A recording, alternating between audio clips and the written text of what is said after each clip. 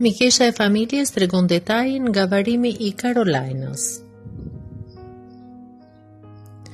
Vrasja e Karolajnës në Greqi nga bashkëshorti i saj ka tronditur fort opinionin publik në këtë vend.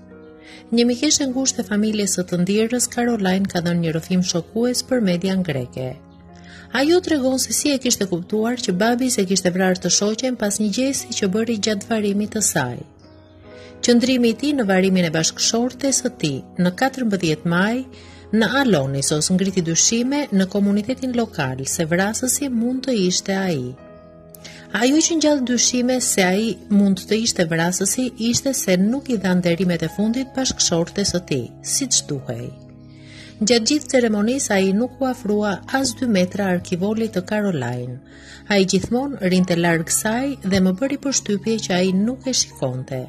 Të gjithë njerëzit që ishin brenda tempullit kaluan dhe i dhanë lamtumirën e fundit Caroline. Në këtë proces preket e vdekura dhe luten mbi të.